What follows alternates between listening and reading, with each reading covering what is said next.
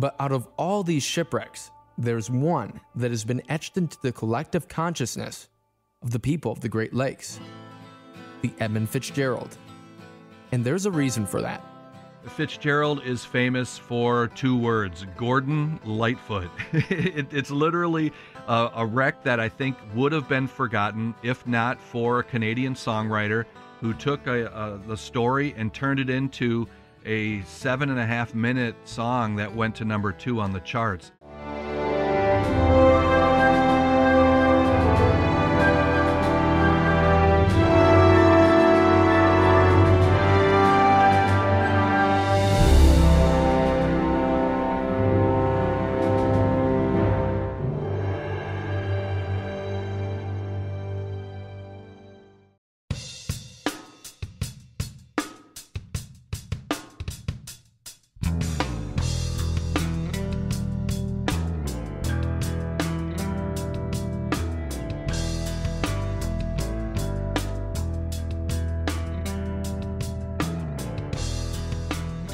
This is Our American Stories, and our next story comes to us courtesy of Ric Mixter, a shipwreck researcher and diver who's explored over 130 shipwrecks, one of which is the subject of this story on the most famous shipwreck on the Great Lakes.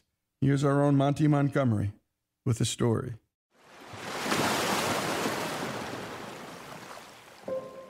When we think of the word lake, we often think of a calm, placid, and small body of water. But the Great Lakes are anything but that.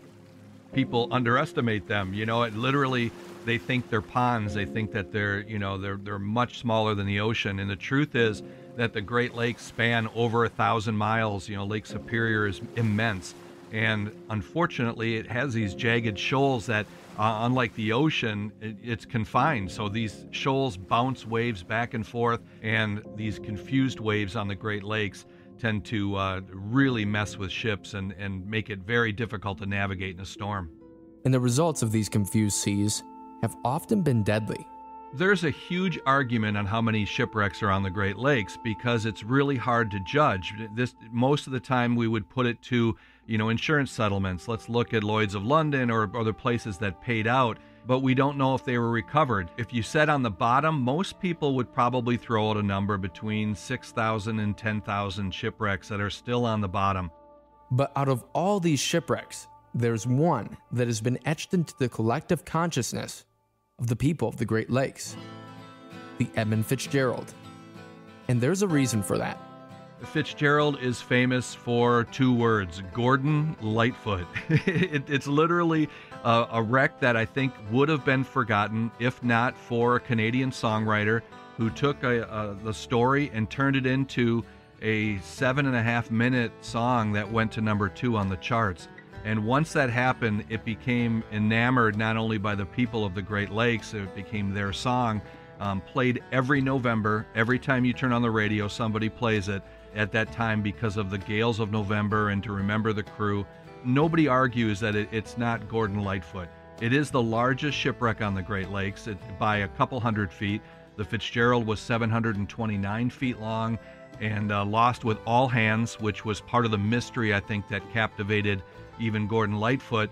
And uh, that's why it kind of became a story. How in 1975 could you have a 700 foot freighter with 29 men completely vanish?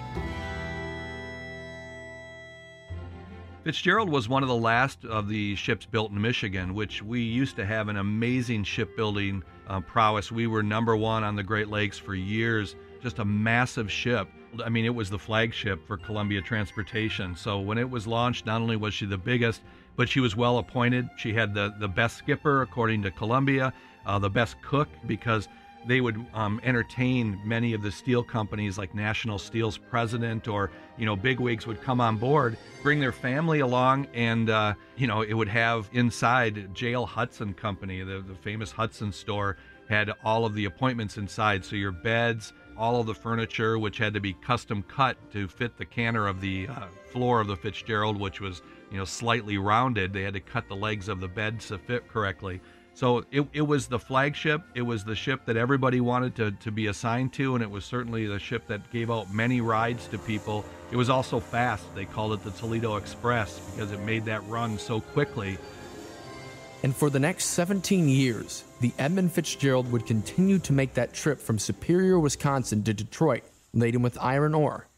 And there was no reason to expect that on November 9th, 1975, her trip under the command of Captain Ernest McSorley would go any differently. It, it, was a Sunday, and it was in Superior, Wisconsin on a beautiful day. And Jack McCarthy, the first mate, would be in charge of telling the guys, you know, all the loading, make sure that the ship was loaded evenly, in which they would go underneath a gravity fed dock and it would actually spill these round taconite pellets into the, the cargo hold, which they took 26,000 tons. This is where Gordon Lightfoot was was wrong on a couple of accounts in his song. He said uh, fully loaded for Cleveland, but it wasn't fully loaded. It was less than uh, two thirds loaded because she was actually going to River Rouge, the, near the area, to the Zug Island. And in order to get into that slip, she couldn't carry all of her cargo because she would hit bottom in the Detroit River.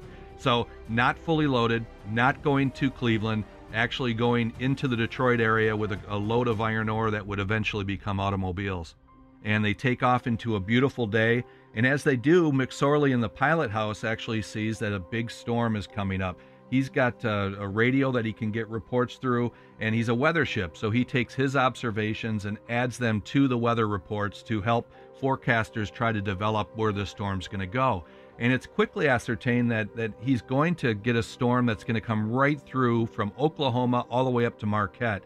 And so he starts to calculate how long that would take and, and uses the forecast that he's getting given as well and has to determine what he's going to do. But McSorley was a well seasoned captain, and the coming storm likely didn't phase him too much, despite some of the reservations he may have had on the ship.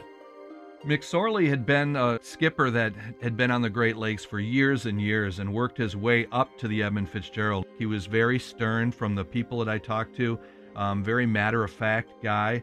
As we talked uh, to a, a third mate in my documentary called The Fitzgerald Investigations, he remembered going through uh, Lake Superior storm with just 10 foot waves where the Fitzgerald would flex so crazily, unlike any ship he had been on.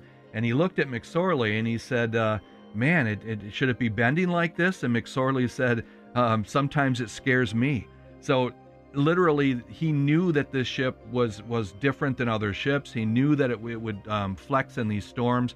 But because as a part-time job he did hull inspection he was very well versed in the strength of these ships. And he unfortunately pushed the fitzgerald way beyond its means. As i did the investigation documentary i found the coast guard looked into it. They looked at 10 years at the Soo Locks, the worst storms that ever happened up until 1975 and the one ship that kept pushing every storm and made it through the locks during those gales was the Edmund Fitzgerald. So he was a rough weather skipper. He pushed the heck out of the ship, and it eventually broke because of it.